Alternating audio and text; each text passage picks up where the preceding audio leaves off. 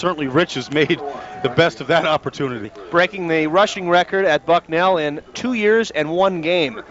We're going to get going in the second half. Southern Connecticut down 17 to nothing is going to let Bucknell get the ball first because the Bison did not win the toss to open the game. So one of the benefits when you don't receive in the first half, if you can build a lead, you get the ball first in the second half. Well, I don't think that was their game plan or that, that wasn't their design. It worked out well for them right now, but you what you what you want to see is a carryover of intensity from the first half to the second. Sikowski will field the kick on the run at the 10, come across the 20 to the middle of the field to the 25, gets a block from Parham, comes the near side to the 30, and he'll be tackled by one of the special team players for Southern Connecticut, Scott Persing, a backup defensive back on the stop, and Bucknell will have decent field position out across their own 30 to begin things in the second half. Sikowski's a good return man, uh, punt and kickoffs. He has a nice knack for setting the play up and setting the blockers up, and then making a break and making one cut and doing the, what he can with it. Jim Fox, the quarterback, he opens having uh, completed uh, eight passes out of 14 for 94 yards, two touchdowns and two interceptions in the first half. He's got Bombich and Lemon in the backfield on first and 10 from the 32-yard line. Two wide receivers to the left side. Fox will go to the handoff, hand it to Lemon. Lemon will break out over the right side and spin for about two yards from the 32 to the 34. He picked up those two yards on second effort. Cornerback Dwight Clark on the stop for Southern Connecticut. I think one of the changes that we're going to see in Southern Connecticut's defensive scheme this second half is a lot more force from the corners. I saw a rotating secondary right there, which freed up the corner to take away the cutback that uh, Lemon was able to uh, make go so well in the first half. Second down and about seven and a half to go for a first down. Again, they line up in an eye. Sikowski to the left, Noteboom to the right. Now Noteboom in motion from right to left. Fox again on the handoff. Lemon trying to bounce outside to the left side. 35 40. Jukes to the outside. 45 50. He's over 100 yards on that play. I think he should be. He'll be out of bounds at the 45 yard line. First and 10, Bucknell in Owl territory. He runs with a nice lean, a lean that almost makes it look like he's running downhill every time he carries the ball and he gets in the open field, it's daylight. It puts a lot of pressure on the secondary to be able to tackle him one on one. Unofficially now, 20 carries for 106 yards. He now has rushed for 100 yards or more in 16 consecutive games. Again, 20, the 1AA record held by Frank Hawkins, who played for the Oakland Raiders in the early 80s. First and 10, Bucknell at the 45 of Southern Connecticut. Bombich in front of it. Looks like Moore now in the backfield. Moore, the backup tailback, will get the run. He'll get inside the 40, close to the 39. Five yards for the backup tailback as Moore comes in with fresh legs as they give Lemon the breather after the 21 yard run. Well, it is warm out there today. It's very, very humid, and but uh, Rich Lemon has already carried enough uh, to have a full day's work in. He's done it in one half, so he's compressed, you know, the amount of work that most backs get in a full day in a lot of humidity. So he's in good shape, and you know they're just spelling him right now. Second down and five after Moore picks up five. Sikowski to the left, Noteboom to the right. Tight end Wilcox in the slot. He'll go in motion from left to right and then come back. Moore will carry on a counter. Left side has the first down inside the 35 to about the 32 or 33 yard line. Gain of about seven more for Milton Moore on the tackle for the Southern Connecticut Owls was linebacker Terry Burrow. But Bucknell on a very nice drive. They have run the ball on every down in this drive. They're inside the 35 of Southern Connecticut with a first down at the 33. Milt Moore is a nice compliment to Rich Lemon, and he runs uh, very similar. He's a cutback runner also, and he, he runs to daylight, and that's what he's done the last two carries here. Milton Moore was hurt quite a bit last year, had an ankle injury of most of 94, but really came on in spring ball when Lemon didn't play a whole lot and gained valuable experience. First and 10, Bucknell, bobbled snap from center, and Fox able to fall on it. Bucknell will lose one and the down, so it'll be second down and 11 coming up. The exchange that time from center Scott Lennox to quarterback Jim Fox, just not quite there. Lennox is now at center with Donkers and Gay, the two senior returning starters on the left side of the line and I believe it is Hodges and also Misiak that now make up the right side of the line for the Bison as they've shuffled a couple throughout the game. And that's exactly how the Bison line up in the front. Second and 11 coming up for Bucknell. Sikowski to the left, Noteboom to the right. Couple of tight ends, one is a wingback, one on the line. The lone back now is Moore. Moore gets the play fake. Fox will scramble to the left side. Fox will keep it on a bootleg. His first run of the day, and Fox is going to scramble for the better part of nine or ten yards. It'll be very close to another Bucknell first down. That time, Fox was very decisive when he got to the corner, Brian. He knew he had the room and took it. Well, the advantage right there is that he's got a lot of open field in front of him. If the defense commits to him, he has the option to throw the ball, and that's what you really ideally want on a good bootleg, is to put the pressure on the defense, make them commit Whatever, it's almost like the point guard in basketball. Make the defender commit to you, and then you make your decision based upon what he does. Noteboom and Sikowski both wide to the right, the wide side of the field. The lone back now is Lemon as he returns to the game. Lemon will get the handoff on the short side. He'll plow his way inside the 20, close to the 19. It was third and about a yard and a half. Lemon makes the first down for Bucknell, and the Bison will have a first down at about the 20 yard line and they're leading 17 to nothing. 11:40 to go in the third quarter. Score here, Brian. Not that 17 to nothing is not a good lead, but 24 nothing. Uh, this game would be well in Bucknell's hand. I don't think that uh, Coach Gadd would have any problem seeing a lot of uh, secondary guys get some playing time in the first game. First and 10.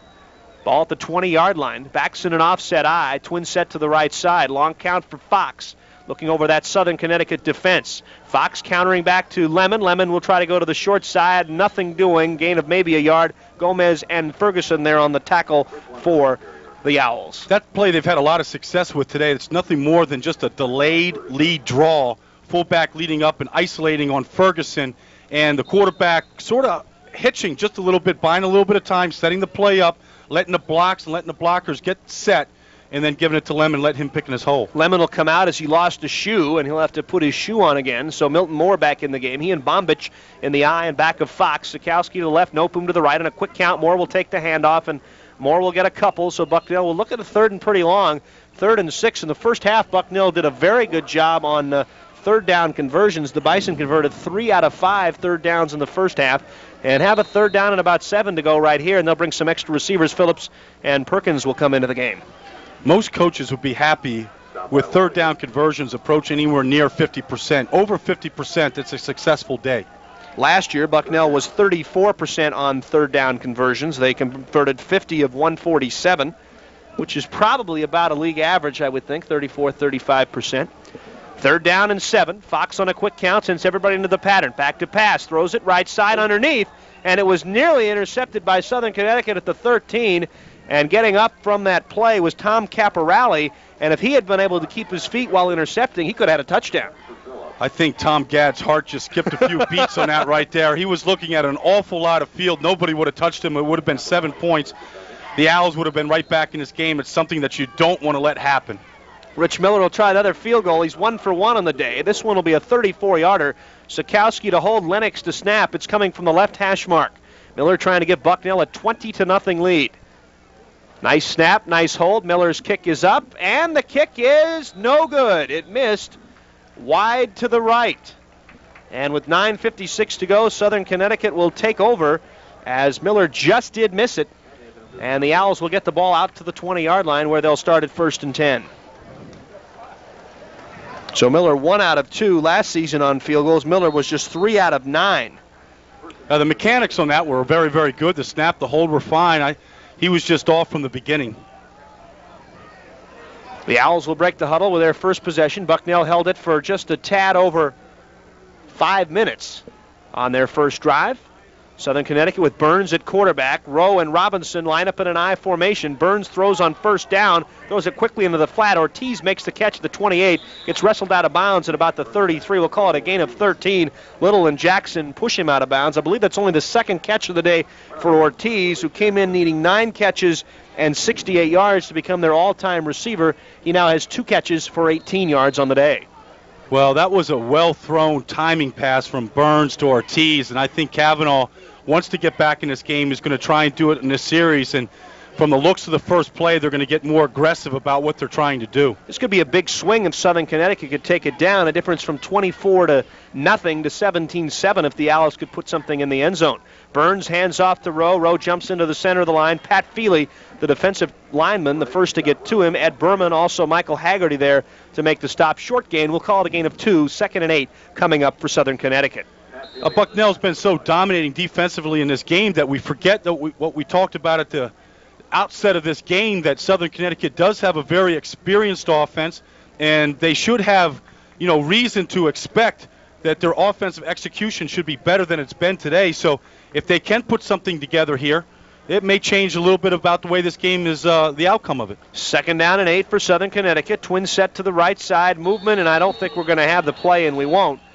Somebody moved on the right side of the line for Southern Connecticut, so the clock will stop. 9-11 to go in the third quarter. If you're just joining us, it's Bucknell 17 and Southern Connecticut nothing. All the points in the first half. Fox with two touchdown passes, and Rich Miller has added a field goal.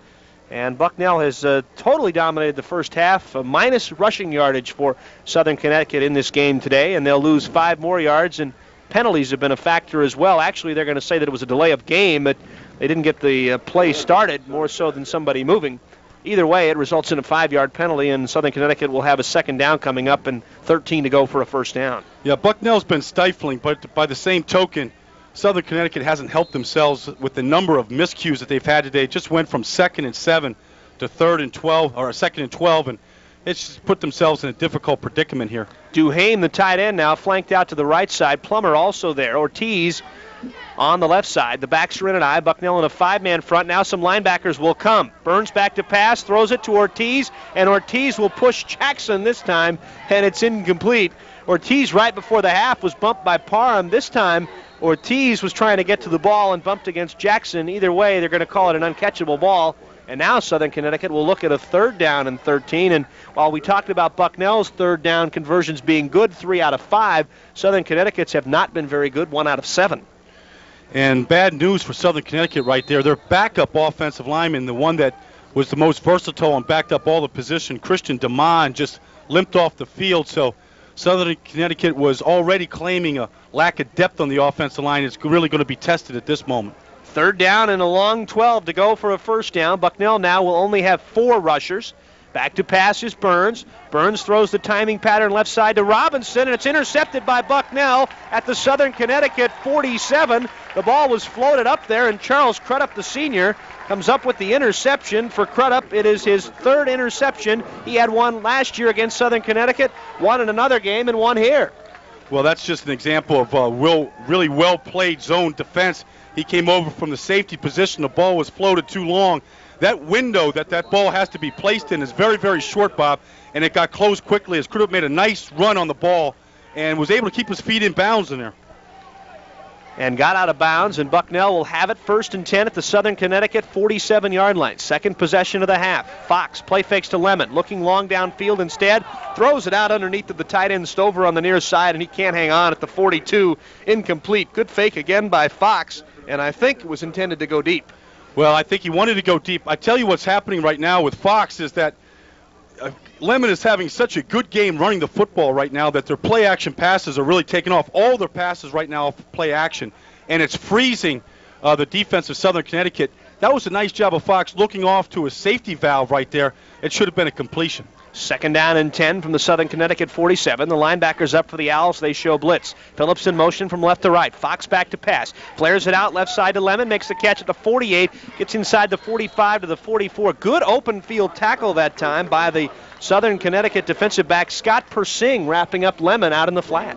Not an, not an, uh, an easy task by anybody but uh, it's something I thought that I would see more of today. was a, a, lot more flare or screen passes to Lemon because anytime he gets the ball in the open field, he's, he's very, very dangerous. Flag down at the spot that Persing made the tackle, and Bucknell is retreating. We'll see what the foul call against Bucknell will be. Dead ball, unsportsmanlike conduct. Somebody must have said something, and that means the down will count, and they'll lose 15 yards. Bucknell has had only a couple of penalties today.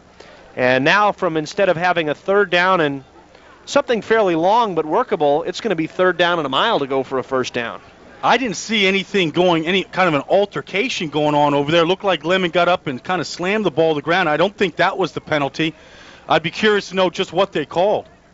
A couple people in the booth, Heath and Frank, seem to think maybe they called that. But if you're, I mean, I know they have no taunting, no celebrating, but uh, if they're calling that, that seems pretty. Call. That seems pretty petty right there, Bob. If that's what they call. I would agree. Third down now and 23 to go for the Bison. The ball back on Bucknell's 40. Southern Connecticut will blitz. Fox looking downfield, flag down, a hold probably against Bucknell. He's got Perkins out there at the 15. Fox threw it a long way. He had Perkins running out there, but overthrew him. And uh, we'll see if Southern Connecticut will take a fourth down and about 38 to go for a first down, or whether they, excuse me, fourth down and punt it away, or give them third down again in about 38 or 40. I think I'd want the football back. It's going to be a holding call on Gay. Fox just aired that ball out 55 yards. Perkins certainly looks like he's a step faster than anybody on the field. Perkins ran track one year here at Bucknell, but with new coaches this past year, did not run track because he wanted to learn the new offense, etc. The penalty will be refused, and Southern Connecticut's going to take the football. Well, Perkins definitely has a set of track legs. A piece of spaghetti coming out of those pants right there. They are not uh, bulked up in the weight room by any means, but the, the kid can flat out fly. I think he's probably the fastest receiver on this team. Fourth down and a mile. Lennox to snap, Miller to punt. Back in single safety, it is, I believe it is uh, Caporelli, or no, it's Ortiz. And a punt off the side of the foot is going to be a very poor punt. Miller averaged last year total of 40 yards a kick, and this one's going to be extremely short as the official keeps coming and coming. He'll stop at the 36 yard line, only 28 yards on the kick for Miller. Well, I just looked at Coach Gadd down there, and he just gave him one of those looks like I'm really Steven Seagal. Don't come near me with a with a shanked punt like that. So Southern Connecticut will get the football back on their own 34. So Bucknell does not do anything with the Charles uh, Crudup interception. 8:16 to go in the third quarter. Bucknell 17 and Southern Connecticut nothing. Coach Gadd calling the entire offense over in a separate huddle looks like he's given a little piece of his mind right there. Not happy with the execution right now this half. First and 10 for Southern Connecticut at their own 34 yard line. Burns will hand off short side to Robinson. Robinson will get hit behind the line by Ed Burman. Maybe on forward progress he'll get back to the line of scrimmage. But Burman has shown a lot of agility and a lot of quickness in the backfield. They've had trouble with him all day. I think Ellis Robinson is wondering uh, if he's really a running back. Uh, he hasn't gained positive yards in the last couple of carries, and and I don't know if he's ever been stifled this much by any defense in his career thus far. Last year against Bucknell, Robinson had a decent day, 17 carries for 78 yards, and right now he's at 12 carries for 17 yards, averaging 1.4 a carry. And that's not going to win you a lot of football games. Second down and a little more than 10 as Robinson didn't get back to the line. Burns throws it out in the flat to Robinson. Robinson catches it behind the line of scrimmage. A lot in blue will have a shot at him. Burman will finally come back from the backside to make the tackle. It'll be a gain of three. Third and seven coming up, but Robinson did a nice job. He probably shouldn't have seen the line of scrimmage on that play. You know, it's a it's a well designed and conceived play. It's a delayed screen to the offside. They look strong. They come back weak and they throw the screen pass, but Bucknell's speed and pursuit has been so outstanding today that they really can't get anything going on that particular play. Plummer will go wide to the right as the ball on the left hash mark. Ortiz to the short side. Backs are split. We have not seen uh, Southern Connecticut out of the shotgun at all today. Third down and seven. They need to get to the 44 for a first down. Burns throws it short of the first down. Traverso makes the catch, and I think with forward progress, they're going to give him the first down. But I think the official gave him that left foot instead of the right foot because I don't think he made it. I thought Miller and company had held him up. I don't think he ever got the foot down. Three people hit him simultaneously. I think it's a bad spot. I would have placed that ball a full yard behind where they placed it and we've got a pretty good view. We're about almost We're, even with the 45. I'm right on the ball here. I'm right on the 45 yard line, and, and there's no way that he got that close to it. But it'll be a first down for Southern Connecticut. The Owls with just now five first downs in the entire game, and move the sticks, and I think that's the first first down of the second half. First and 10 now for the Owls. Five man front for Bucknell. Burns, the quarterback. Little counter to Robinson. Robinson may get a yard to the 45 yard line before that Bucknell defense is able to close it down again in a hurry. The, the advantage to this particular defense at 34 front is you're very flexible with what you're able to do. Right now, they've got three down linemen, and they're bringing Willie Hill, the outside linebacker, playing him like a Lawrence Taylor. He's really freed up right now on the open side of the ball. That time, he forced the play inside and was able to turn it over to the interior lineman. Second down and nine after the one yard run. Backs in an offset eye with Rose shaded to the right side. Bucknell again in a five man front. The two stand up linebackers on the outside. Robinson will carry. Burman will be there again. And I think Robinson might see Burman tonight in his dreams because that big number 97 has been in his face most of the afternoon. Yeah, he's lived in the backfield. Uh, some coaches would call living it in the paint. Uh, he's definitely living in the paint today. He's uh, made a lot of plays behind the line of scrimmage, two sacks so far today. And. Um, a lot of penetration on his part. Let's take advantage of yourself as an offensive lineman. What would you be doing right now to try to stop Burman? Well, I would run right at him. I, you know, right now he's he's uh, taking a lot of angles and a lot of gaps, and I would uh, try to eat him up with uh, some scoop blocking uh, as a tandem in offensive line. Third and ten, Southern Connecticut trying to pass for the first down, and Burns had to throw it too soon. The pass intended for Joel Fernandez but he was on his backside as he was throwing it, and that incompletion has got to be charged to the rush that time of Bucknell. Well, the offensive tackles right now for Buck, uh, for Southern Connecticut are just giving up too much space to people like Burman, who has a lot of speed, and he's uh, forcing things from the outside right now, and they're getting good interior push, which isn't allowing the quarterback to go anywhere. Biancamano on the punt on fourth and 10, 10 man line. Sikowski standing at the Bucknell 20. As Bucknell looks to get the football back. Rush comes, but Biancamano gets it away. It's a high spiraling kick. Sikowski will go back and field it on the 15. Now reverses his field, comes back to the 20, still going to the 25. He'll get a return of about 9 or 10. 41 yards on the kick by Biancamano. Frank Thompson hands me an interesting statistic about Robinson. He's only had three carries today that have gone for more than two yards. I thought so. I thought most of his uh, most of his carries have been just negative negative gains or no gains so far. And I don't know if he hasn't run to to an open field yet because it seems like somebody's hitting him as soon as he's uh, getting the ball. First and 10 now for Bucknell, just shy of their own 25 yard line. Neither team has scored here in the third quarter, but it's 17 to nothing Bucknell. Bison with seven in the first, 10 more in the second, and have pitched the shutout thus far at the Owls. Fox on a quick pass, little hitch pass to Sikowski, and I guess it's a pass and not a lateral. And at the 20 yard line, they'll call it incomplete. Bucknell fortunate that that was not ruled a sideways pass and a lateral, or Southern Connecticut might have had it. They'll regroup and go with second and 10. It's best as a defense to always play that ball like it's a live ball. Never give up on it. Don't rely on a whistle. Go after that ball. You never know how they're going to rule some And you never know that you might be able to sell them if you go for it quickly that yeah, you thought it was a lateral, maybe Absolutely. the official will give it to you. That's a play where you just want to play hard all the way through. Second and 10, Southern Connecticut kind of gave up and didn't go for it. Fox on a quick out to Sikowski, makes the catch at the 35, jukes a man to the 40, gets out near midfield into Southern Connecticut territory. That time Southern Connecticut relaxed a little bit defensively. They thought Sikowski stepped out, and uh, John, whose nickname is Shaker, kind of shook them a little bit and moved it down the sideline for a big gainer on the play that time for the Bison, 26 yards from Fox to Sikowski. I'm not sure what Sikowski's speed is, but he's got a lot of moves. He's very shifty. He's a very good return man, as we pointed out. And right there, he's, he's really looking to do something with the ball after he catches it. First and 10, Bucknell just over the midfield stripe, 17 to nothing. Bison lead. They've got the back split, now some movement in the line, and it looked like for Southern Connecticut, Paul Willis, the defensive tackle, may have anticipated the snap count and moved or maybe they'll hit Bucknell with the illegal procedure penalty. We'll see what the call will be. And it's going to be offsides. Willis did anticipate the snap count and guessed wrong. It's amazing how good offenses look when you can run the football. Everything else stems and is a complement to that. Right now, all the problems that Southern Connecticut are finding themselves in as a result of Lemon running the football. Right now, the corners are really playing off. They're giving a lot of room to the wide receivers. First and five after the five yard penalty. Noteboom in motion from right to left. The backs are in an eye, and now Noteboom cut up to the uh, line of scrimmage too soon. The play will continue, and I believe Southern Connecticut will have the opportunity to accept the three yard loss because the play does not stop when a back moves. It should be an illegal motion, not an illegal procedure, and uh, we'll see if that is the call. It is an illegal shift. And if I'm Southern Connecticut, I'd take the three yard loss and burn the down right here. I think that's what they may do here. Second and eight. Uh, Noteboom was going forward uh, when he was in motion there at the very end before the snap, the ball was snapped. So two I, men were moving at once. I think he just kind of forgot the snap count a little bit, and uh, well, Southern Connecticut's going to take the five-yard penalty and make it first and ten. I think I'd rather have second and eight.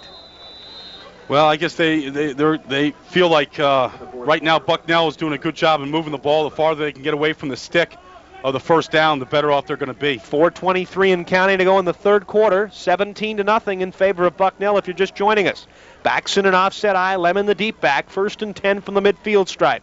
Fox on a delay. Give it to Lemon right side following a Bombich block. 45. Dukes a man at the 40, still on his feet, and gets knocked down at the 36. Terry Barreau, the last man to get to him. And uh, Lemon, not very tall at 5'8, very low center of gravity. Tough to knock him off those pins, and uh, he continues to churn up yardage. Lemon now with 23 carries for 125 yards. He does not go down easy. And Bucknell with a first and 10. Wouldn't have mattered, I guess, it was second and eight or first and 10 on that play. The point was moot. First and 10 at the tw- excuse me at the 38 of Southern Connecticut. Bucknell marching again. They had a missed field goal early in the third quarter. They've been able to move the ball in this half against the Owls, but have yet to score. Lemon on the first uh, hit does not go down over the middle, but the second one will put him down. Gain of maybe a yard and a half or two at the most. Short gain. The man to get to him was Paul Willis, defensive tackle for Southern Connecticut. uh, the defensive interior linemen of Southern Connecticut have not made a lot of plays today. It's most of the tackles have been by Ferguson, the linebacking crew, and some of the defensive backs. It's one of the few times they've been able to stop Lemon at the line of scrimmage. When your safeties are making a lot of running tackles, you're usually in trouble. And they're in trouble. Phillips and Sikowski wide to the left, the tight end Wilcox on the right. Backs in an